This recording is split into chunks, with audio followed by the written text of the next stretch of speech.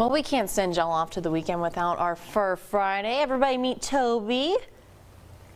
We're joined now by Pets Fur People to tell us about our little furry friend here. Tell us who we got.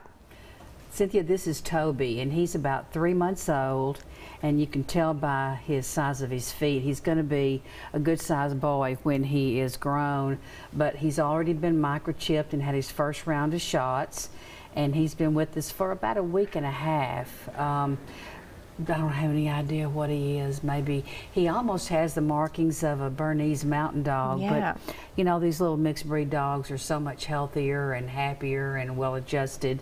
And uh, so he's just looking for a, a family to adopt him. So how do you come to y'all? He actually was found as a stray, he and his sister, and so they are there at Pets Fur People along with a lot of other puppies because it's puppy season right now. People would spay and neuter, we wouldn't be having this conversation.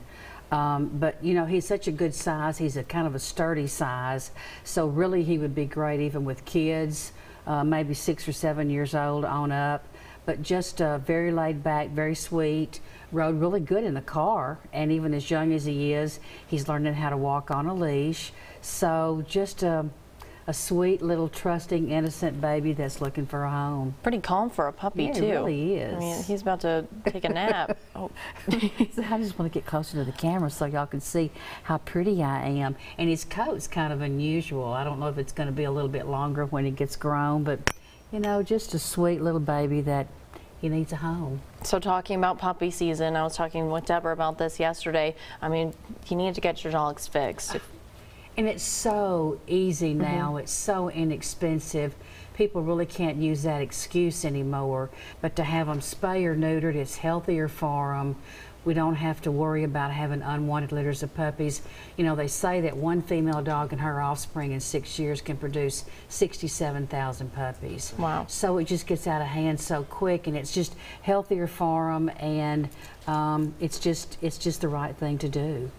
Also, I wanted to ask you, since we are looking at some severe weather this weekend, if obviously keep your pets indoors during Right. that, but what are some ways you can kind of calm your pu- uh, your pups down? Well, you know, now there are some uh, essential oils that work real well, like even lavender oil. Really? We use that on some of the um, the uh, bandanas that we have at the shelter for the dogs.